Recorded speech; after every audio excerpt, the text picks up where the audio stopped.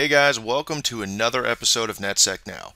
Today we're going to discuss a little bit about, uh, a little bit more about web pen testing uh, and something that used to run rampant on the internet uh, some time ago uh, was remote and local file inclusions, otherwise known as RFIs and LFIs. Now the difference between the two is pretty obvious by the names. Remote file inclusion means that in the PHP code somewhere um, they would uh, you know put in a parameter to direct you to a page or something like that or include a page and actually they didn't sanitize the data and so um, you know you could include a remote file which would be like a evil hacker script there to run system commands um, in their website and print the data to you um, and then there was also local file inclusion, which is pretty dangerous because then, of course, uh, privileges, um, you know, with the right privileges, you, you should be able to, you know, pull down the contents of certain files on the system, like the password file located in the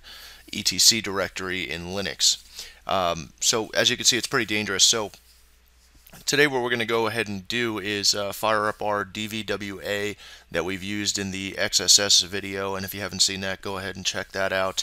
Um, if you guys need help setting up uh, DVWA go ahead and post in our forums at learnnetsec.com under the community tab which is conveniently located right up here and of course if you hadn't signed up for an account already go ahead and do it it's free. Um, okay so I'm going to go ahead and fire up my Kali Linux box. I went ahead and logged into my DVWA uh, web pen test lab here already. Um, and today, like I said, we're going to focus on file inclusions.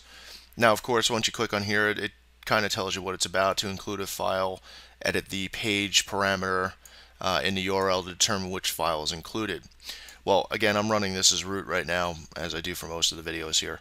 Um, so up here in the parameter, you can see that it's basically page equals include.php. So in the parameter, they're actually including a, a localized or stored localized page. But the problem is they don't sanitize the data after page equals. So kind of like a SQL injection exploit where they don't um, sanitize the little you know quotation mark deal uh, or apostrophe at the end. Um, it's kind of the same idea. So briefly, I'll show you how this works. Uh, for more information, whenever you're using DVWA, you can always scroll down to the bottom there and view the help for this particular uh, exploit or vulnerability. And of course, you can go ahead and read through that.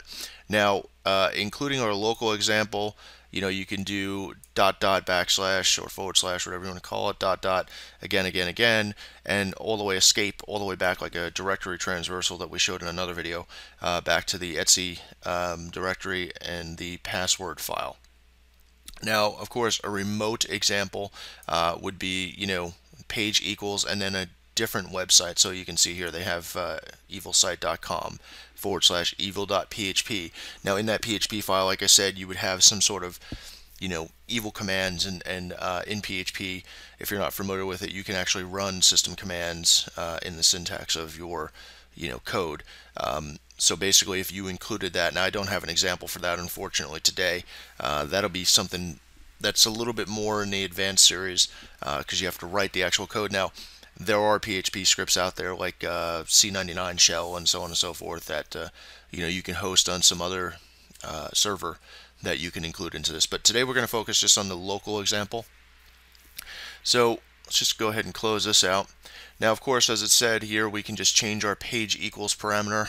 And since I'm already running this as root, uh, I'm just going to go ahead and type in slash etc slash password and you can see at the very top here it lists the entire uh, password file uh, of all the users, um, their shells, and so on and so forth.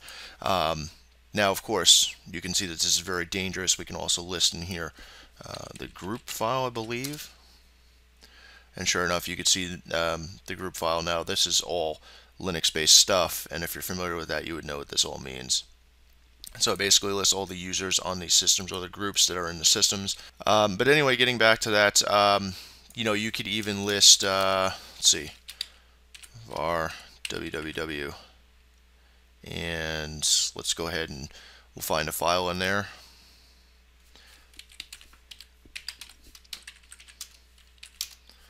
And we'll just do, um, I don't know, test.html, perhaps.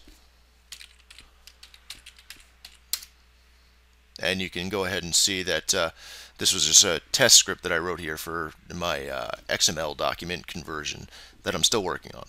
Um, so basically you can see it's pretty dangerous uh, to find that. Now of course you can just create a, a quick Google Dork in URL, you know, index.php question mark uh, page equals or you know uh, route equals so on and so forth. And you could probably find a, a host of uh, vulnerable websites that uh, may or may not be vulnerable to it I should say.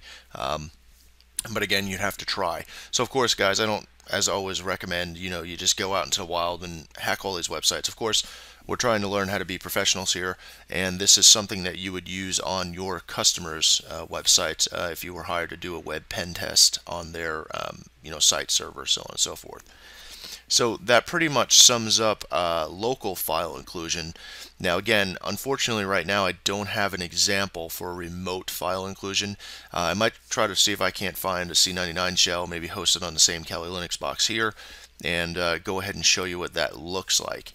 Um, we might just do a separate video on RFIs or remote file inclusions, but for now, this is local file inclusions.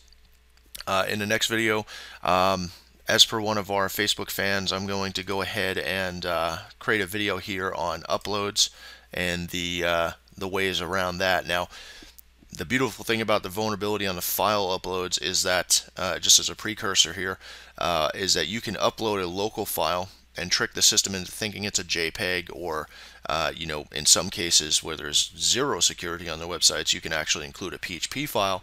It'll tell you where it's saved to or you figure out uh, you know where their uploads are saved to and then you go ahead and navigate to that PHP file and now if you put a C99 shell in there you would have full access to run system commands uh, on the actual web server. Very dangerous stuff. So we will create a video on that file upload as well. The next video I want to do is the RFI uh, to complete the file inclusion mini series here. And so we will get that out to you as soon as possible. Um, again, guys, I appreciate everybody coming to the uh, website signing up for the free account, going into the community and posting your questions in there, and I'm doing my best to answer it. And other users uh, in the community are also posting, you know, answers and questions on the forums as well. So that's really great. I really appreciate everybody's uh, donations that have come in over the last month or so. Uh, it's definitely helped out with, you know, putting back uh, some of the money back into the uh, project here, paying for the hosting costs and, you know, my time to make the videos and stuff like that. So uh, again, guys, everybody that's donated so far, I appreciate it. Thank you very, very much. All right, guys, I'll see you in the next one. Enjoy.